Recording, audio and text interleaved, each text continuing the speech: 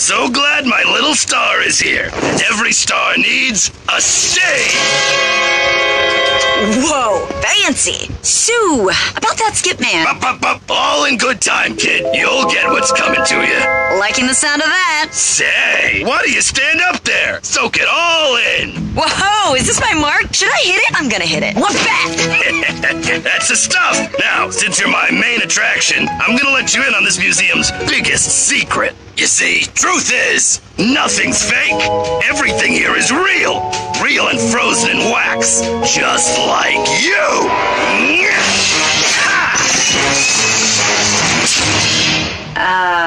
Yep. Yep, this all tracks. I mean, it's crazy how easy that was. Uh, honestly, I thought I was being way too obvious about it. Oh, I can't believe this. I'm so stupid. Hey, hey, don't talk about yourself like that. You're probably a very bright young lady who's just having a bad day. Oh, thanks. It's actually a really nice thing to say. Hey, it's what I'm here for. So, as you probably guessed, you're not just the main attraction tomorrow, you'll be here forever.